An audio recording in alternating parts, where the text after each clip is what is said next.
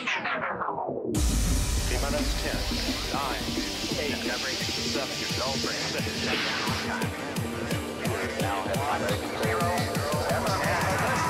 This part is developing your skills. Let's just spend 10 minutes doing, going through as efficiently as you can, like we did on the, the second straight, driving through the jump, across the jump, down the backside. So we want to, we want to actually visibly see you picking up more speed every time you go down the backside of the jump, all the way to the finish. Yo guys, what's up? This is Sound Remedy. And this is Metrophone. Thanks for tuning in to another episode of the Monstercat Podcast. The track is called Turbo Penguin. I hope you guys enjoy it. Uh, turn up.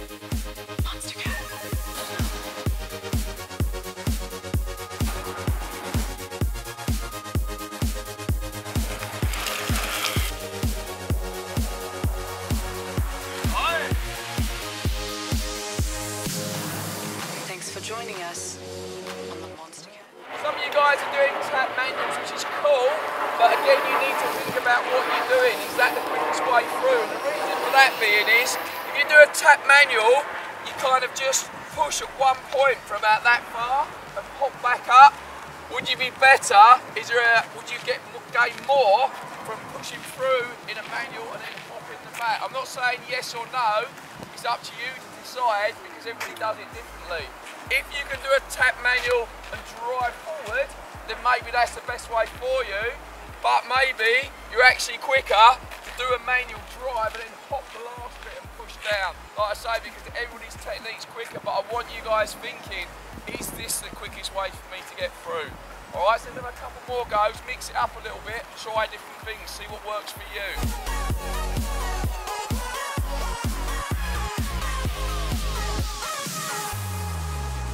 This is the Monstercat Spotlight.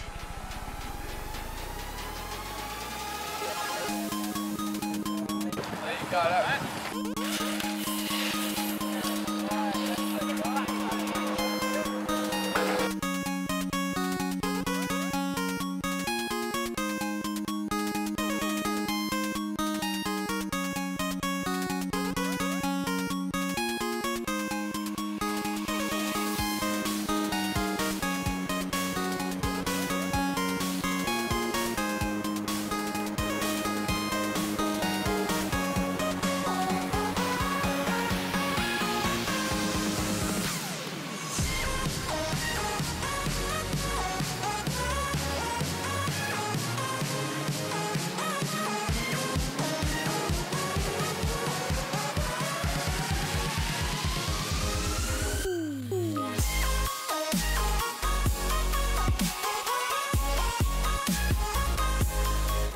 So, if a pickup manual is tricky, what's the next best thing you can do when we're doing this sort of speed?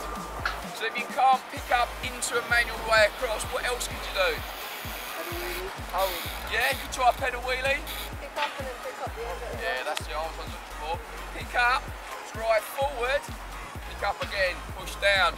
Especially when you're racing somewhere like Cycle Park, second straight, the more pickups you can get through there, the more efficient you're going to be.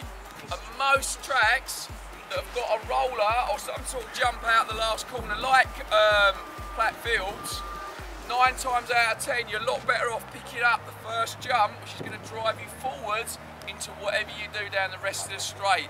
Platt Fields, you can manual the first one, but you're not going to get the drive or the full momentum that you would do if you picked up and then pushed into the next thing. So yeah, definitely, let's try.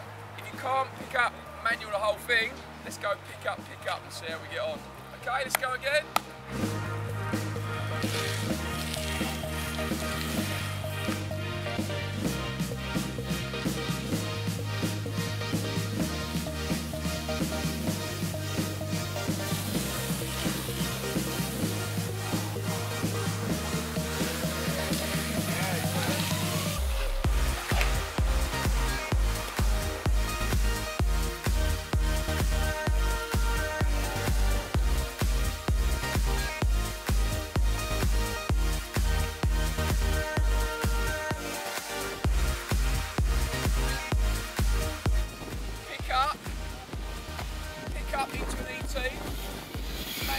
double, and then double main controller up and over the double there. So what will be, obviously the end result is we want you to double manual from the roller through the double.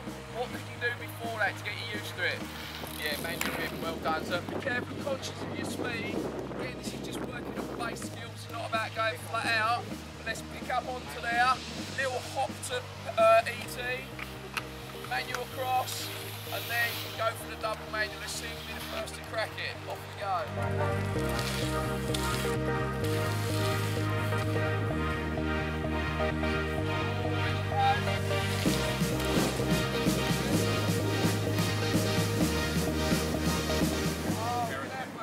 Why are we doing this?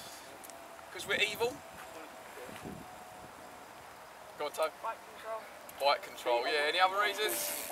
In a race, quite often somebody will crash in front of you, or you'll be in third place, and the guy in second will take up the person that's in first. You don't always rail a berm or get the opportunity to do a really smooth, low high. Things will happen and things will be in your way. That's why you need to have complete control of your bike so you can actually turn quite tightly.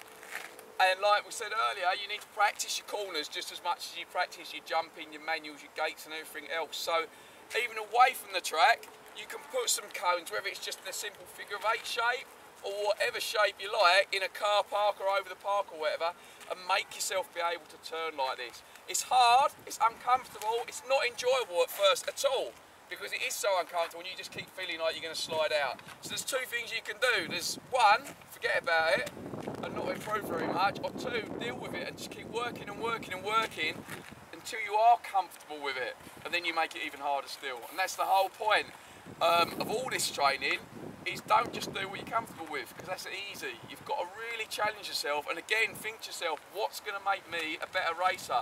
It's another one of those tiny little bits we were talking about earlier that if you can just corner slightly smoother, it might make you an inch closer to the finish line. Just like if you packed your bag properly and you weren't stressing before a race, it might make you an inch closer to the finish line. All these things are going to add up. So I probably told you this story before, some of you this story before. Um, basically, one of the I've forgotten his name now. One of, one of the really good American Olympic American swimmers. His coach um, purposely stood on his goggles and broke his lens, made him go and do his training, and obviously he really struggled because he was swimming with his water in his face. The swimmer couldn't work out why he did it, and then in one of the Olympics, he, he dived into the pool and his goggles moved up, and he got water in there, and he, he still won. He didn't get his best time that he had done, but he still won that Olympic race, and then actually realised why his trainer had done what he'd done.